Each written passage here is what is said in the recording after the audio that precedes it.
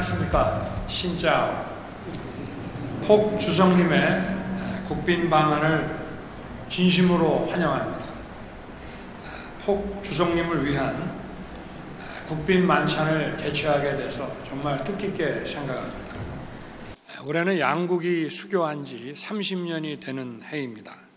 지난 30년간 우리는 눈부신 성과를 이뤄냈습니다. 교역액은 수교 당시 5억 불에서 800억 불로 증가했고 한국은 베트남 내 최대 투자국으로 부상했습니다. 한국에 있는 8만여 한 베트남 가정은 양국 관계를 사돈 관계로 이어주고 있습니다. 이러한 결실의 바탕에는 양국 간 유구한 친선의 역사가 녹아 있습니다. 역사가들에 따르면 한국과 베트남의 교류는 약 천년을 거슬러 올라간다고 합니다. 16세기에 양국의 사신이 만나 필담을 나눈 기록도 있습니다. 이분들이 주고받은 글 중에는 한 배로 강을 건너고 함께 수레를 오른다는 구절이 있습니다. 양국 관계의 돈독함을 잘 반영한 것이라고 생각합니다. 이제 우리는 새로운 출발점에 서 있습니다.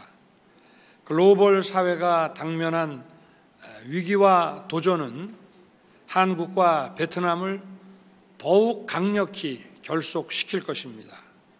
지난 30년의 성과를 바탕으로 더욱 밝고 역동적인 미래를 우리는 열 수 있습니다. 폭 주성님의 방안을 계기로 양국이 포괄적 전략 동반자 관계를 수립하기로 한 것은 이러한 목표를 향한 중요한 첫걸음이 될 것입니다.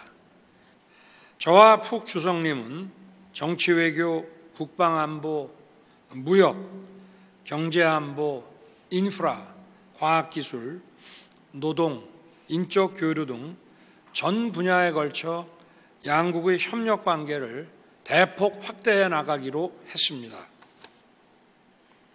오늘의 합의를 기초로 양국은 한 배를 타고 평화와 번영의 시대를 향해 희망찬 항해를 시작할 수 있을 것입니다.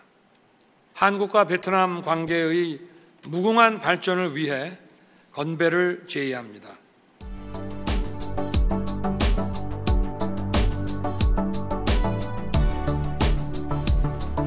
건배. khỏe 감사합니다.